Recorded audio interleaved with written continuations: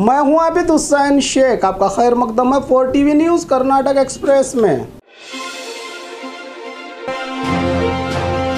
अच्छे बर्ताव के चलते गुलबर्गा जेल से अठारह कैदी रिहा। गुलबर्गा जेल से अठारह कैदियों को अच्छे बर्ताव और चाल चलन के चलते रिहा किया गया है। Jail superintendent B S Ramesh ने बताया कि पिछले चौदह सालों से ज़्यादा इन कैदियों ने जेल में बिताए हैं। इनके अच्छे चाल चलन के चलते डीसी की सिफारिश पर गवर्नर के आदेश से रिहा किया गया है। इन कैदियों को बीजापुर के कैदी शरणैया ने बताया कि खानदानी झगड़ों की वजह से उसे 14 साल से ज़्यादा जेल में बिताने पड़े। आखिर में इन कैदियों को रिहाई की सर्टिफिकेट देकर समाज में अच्छा नागरिक का फ़र्ज़ निभाकर दूसरों के लिए प्रेरणा बनने की सलाह दी गई, वरना ज़िंदगी के अनमोल पल एक गलती की वजह से सलाखों के पीछे गुजारनी पड़ सकती है।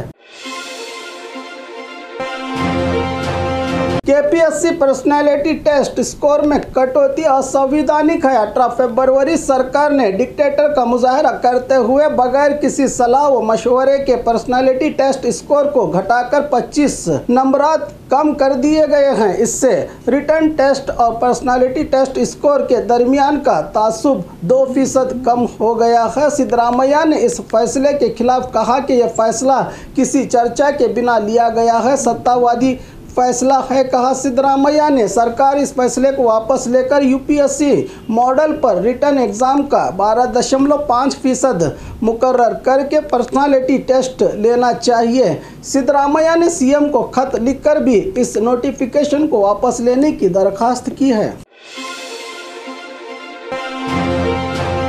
ईवीएम मशीन हैक होने की आशंका जताई जी परमेश्वर ने। तुमकुरू में मीडिया से बात करते हुए जी परमेश्वर ने बताया कि देश में सामान्य नागरिक की ज़िंदगी परेशानियों में गुजर रही है, बेरोजगारी आम हो गई है। ऐसे में पाँच राज्यों के चुनाव में बीजेपी का जीत कर आना शक पैदा करता है। हमें इसका पता लगाने की ज़रूरत है। अब भी मुझे ईवीएम मशीन पर शक है। बीजेपी ने ईवीएम को हैक करके इसका फ़ायदा लिया है, कहा जी परमेश्वर ने।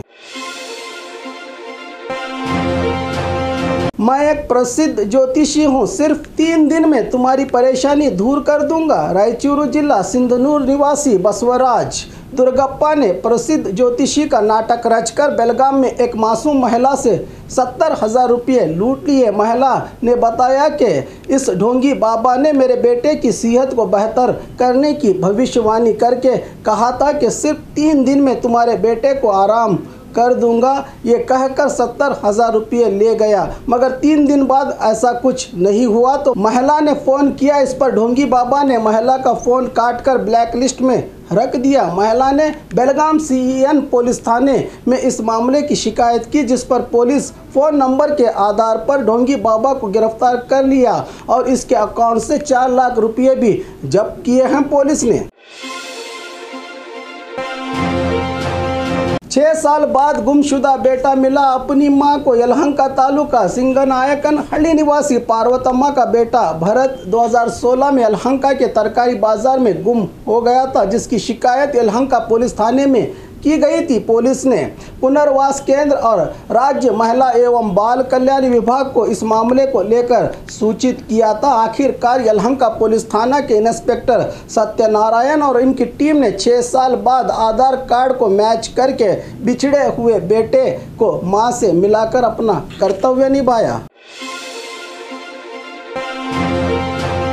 एंगेजमेंट कार्यक्रम को जाने वाली ट्रैक्टर पलटी, चार की मौत, कहीं घायल, कोप्पल जिला, कंकेरी के नवल्ली ग्राम में एंगेजमेंट कार्यक्रम को जाते समय राइस टेक्नोलॉजी पार्क के करीब ट्रैक्टर के पलटने से करटगी निवासी पचपन साल यमुनूरप्पा और 50 साल अम्बम्मा की मौके वारदात पर ही मौत हो गई, जबकि साठ साल देवम्मा 40 साल शेषप्पा की मौत करटगी हॉस्पिटल में हो गई। बाकी कई घायलों का इलाज करटगी हॉस्पिटल में चल रहा है।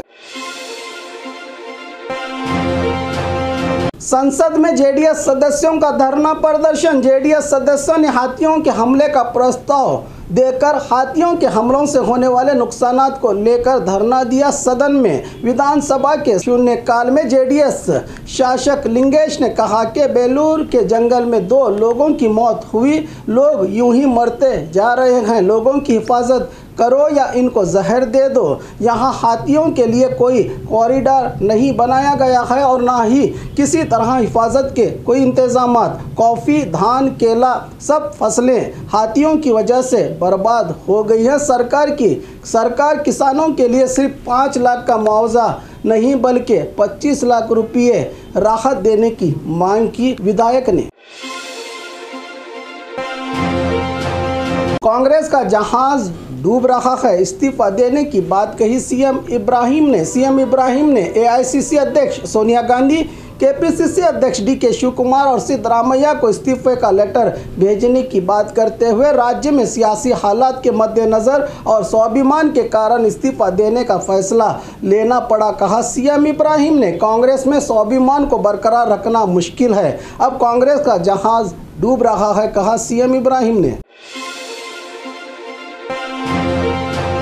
इलेक्ट्रिक शॉक लगने से माँ और बेटे की मौत। कल गुलबर्गा यतीम खाना एरिया में इलेक्ट्रिक शॉक लगने से माँ और बेटे की मौत हो गई।